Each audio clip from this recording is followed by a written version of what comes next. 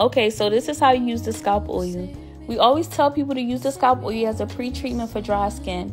The scalp oil is lightweight and absorbs into the skin so that the top layer of the skin, which is the epidermis, get the nourishment it needs during these winter months. Another thing I like to do is add a few drops of the scalp oil into the mud mask. I wanted to do this because my model ends were severely dry from the old color and I really wanted to seal in moisture so that her hair can be radiant from the root to the ends.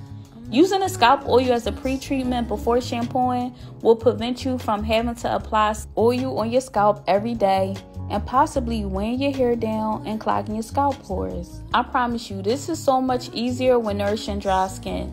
Don't forget the spatula, which will help the oil to penetrate the scalp with its microcurrents.